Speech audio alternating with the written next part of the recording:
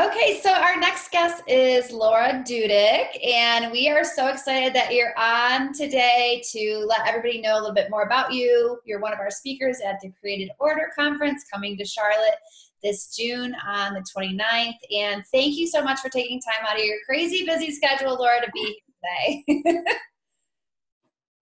yes, I'm so excited to be here. This is awesome.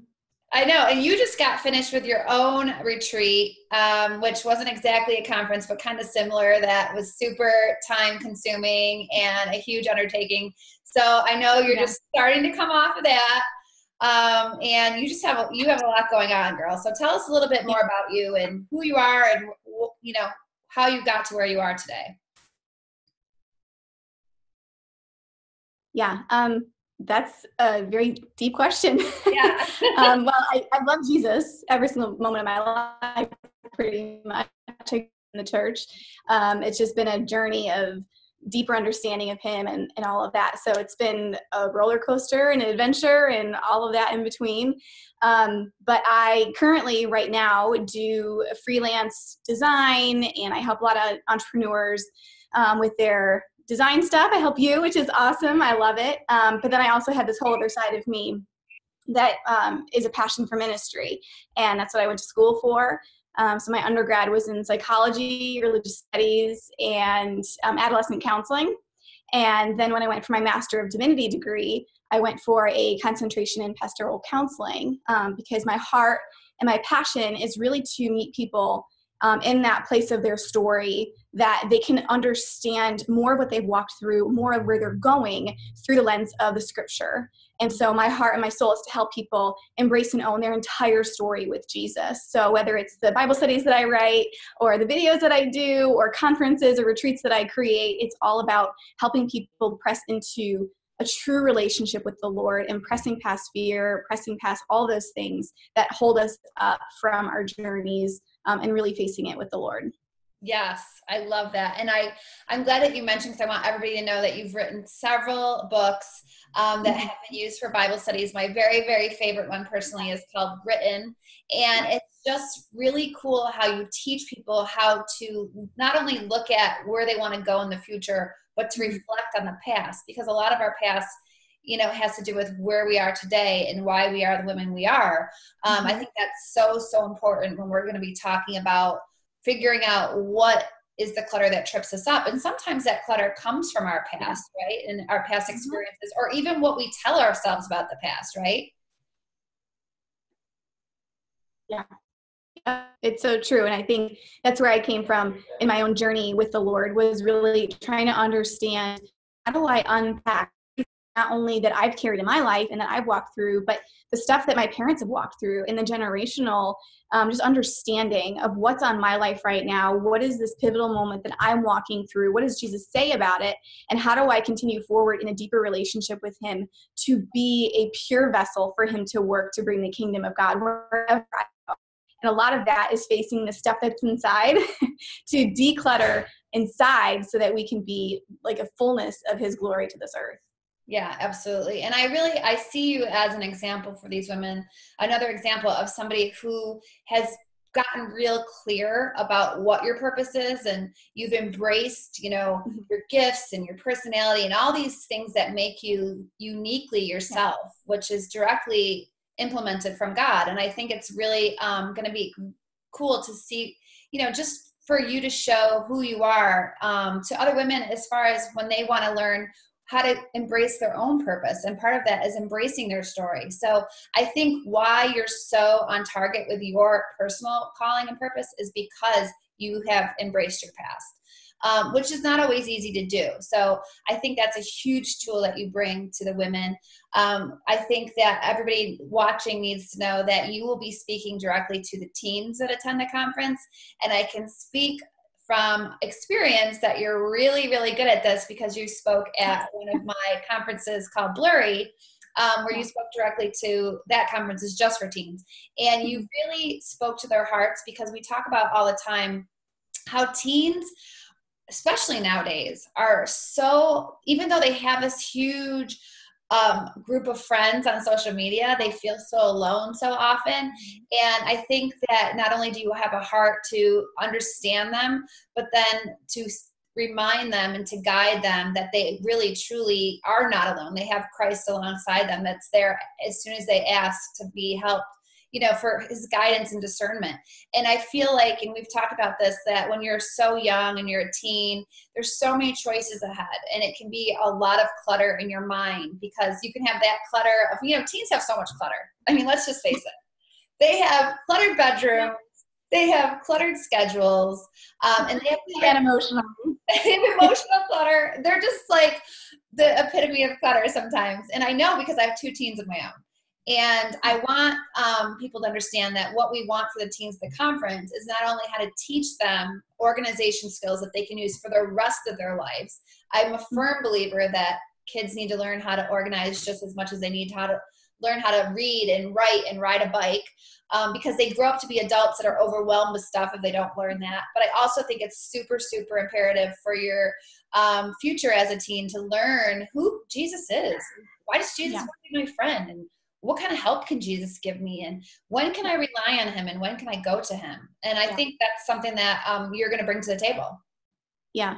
I mean, I used to do, I started off actually in middle school ministry. So when I was in college, I, my first like legitimate ministry position was the middle school ministry director. And I was over 300 middle school students. So I was thrown into the fire while I was still in school. Um, but it was awesome because I learned so much and I really discovered there in that place to minister to teens my passion for speaking and for you know giving a message that conveys the word of God. And I, um, I, I, think it was in college I heard this phrase um, that if um, fear will drive you to love God for a season, but love will um, will push obedience for a lifetime. And I think that was really the epitome of my walk with the Lord as a teenager that I feared God and I knew God, but it was really about that um, unconditional love and that security in him that would really drive me to love him for the rest of my life and to obey for the rest of my life. And so whenever I speak, whenever I um, get the, the opportunity to work with teens, I feel like that's so my heart to show his love because when you have that love relationship and you understand him and his nature that's what fuels you to make the good decisions in college the good decisions after college the good decisions in your relationships all of that. Um, and i just feel like that's such a foundation of not only the gospel but when we really work with teens to help them have that deep understanding of his love. Because if you don't have that fear will only get you obedient for a season. So i really want to drive that home with them and i'm just so passionate about it Oh my gosh, that's such a great point. And you know, as I think as parents, we've been given these teens to kind of just to as a gift to shepherd for a short period of time. And I, you know, I think as my kids are getting closer to, and closer to leaving for, you know, college, I yeah. notice that if the foundation isn't there, I'm not mm-hmm. going to be in their ear all the time saying, don't do that, do this. This is a better choice. They have to know in their heart. And it's so, so important for them to know that at any given point, they can check in with God and say, what do you think? Um, and, and learn how to hear the voice of God and learn how to be guided by God. Um, because, like you said, obedience is so important, but it can be really difficult if you don't have, if somebody doesn't spell it out to you. Um, and I know for me, when I was a teen, you know, I just, I loved the Lord. And then I got to college and I was kind of like always struggling between that world and the world inside that it was pulling me back. And no one really sat me down and taught me that. So I think it can be completely empowering for these kids. Um, yeah. to, and it could change their whole entire future. Yep. I mean, because you realize that your parents' faith isn't going to be like you have the choice. And I grew up in a great Christian home. I love my parents, they love Jesus but it wasn't them you know the ones that were going to dictate after i reached adulthood to say okay like you can take our faith now like you make that decision and so for me owning my relationship with the lord and really um, having him up close and personal. It wasn't just I'm reading the word and the word stays there in my quiet time. That's it. You know, in this little 15 minutes in the morning, it was really about understanding where's Jesus in my everyday. And like you said, hearing his voice um, for myself and having that impact the decisions that I make and, having his vision. And that's really what I want to convey to the teens at this um, specific event is about the vision that we have. Because when we see God's vision for our life and Jesus's vision for our future, which totally encompasses our purpose, that's when we start making the right decisions in the moment because we realize, oh, yeah, that relationship, yeah, it's not taking me where I need to go. Like, I need to cut it loose. That was my vice, if you will, was really bad relationships, really bad ones. They were all masquerading as good ones. So, you know, it's like you have to realize um, and you have to catch God's vision for your life. And that's what I want to help the teens do is when you hear his voice, you start seeing how he sees, that's when you start lining up your decisions in the present moment to lead you to where you need to go. And I think that's where sometimes teens don't have the capacity, um, even mentally, to connect just in the moment, kind of instant gratification. And I want to break through that to show them this is God's vision, vision for your life. So when you make the decision today and tomorrow and the next day, it has to lead into that. And this, that. Yeah, it's so true. It, it's so true. In relationships, whether it be a love relationship or a friendship, uh, it can be mm-hmm. a huge amount of clutter in a teen's life. And it can be, um, yeah. it can make them feel like they have to please the people in their life more than they have to be obedient to God. So I think, you know, it's cool because I think with, since we're doing this separate away from the women, I think the teens will really open up to you more mm-hmm. um, and be able to talk to you. You know, I know after you spoke at the Blurry conference, they really sought you out. They really wanted to talk to you one on one. So I think it's really cool to keep let them have the privacy and let them be able to just be themselves and bond with one another um, and just feel like a judgment free zone. I think that's what teens really need today. So I'm really, really excited. Um, and you're coming all the way from Cleveland. Yeah, I'm excited. Charlotte, Laura? Yes, I actually was going to go to seminary there. Really? I went to two seminaries, and the one they were actually going to give me a full ride because they had never had a woman pursue a Master of Divinity before. Really? So, yeah. Okay, that's awesome. It didn't work out, but um, but I did go to uh, to school at Liberty, so it was a little close. But yeah, yeah I was considering Charlotte. Yeah, I know. At Liberty, how far is Liberty from there? It's not that far at all, is it? Like yeah, it's in the four, hills of Virginia. Four hours, so, or is it more? Yeah, I think it's like five, maybe. Okay. Yeah. Um, yeah, I'm excited. We're gonna be in Charlotte together. I haven't been back for so long. I'm just excited to see all the new development and just it's just a great city. It really, really is. Um, and it, it's such uh, an open-minded city. So I love that about it. Yeah, it's yeah. so beautiful. I'm so excited to go back. I know, me too. Me too. All right. Well, if anyone wants to find out a little bit more about Laura, you can go to the website, jenniferfordberry.com, under the Created Order Conference page. You can see a link to her site. She has written, what, three or four books? Four. Four. Okay. So there's a lot of good information. She also has her own retreats and speaks a lot. So just check her out. You do really great, awesome Facebook Live videos too, I will say. So yeah. So check her out. And you know, even more importantly, come to Charlotte and meet her in person.